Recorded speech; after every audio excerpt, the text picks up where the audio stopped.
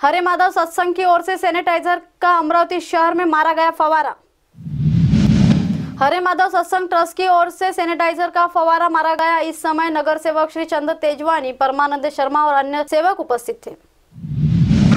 आज समस्त मानव समुदाय, विश्व समुदाय, कोरोना वायरस संक्रमण की विकराल महामारी। माननीय प्रधानमंत्री श्री नरेंद्र मोदी जी के आह्वान पर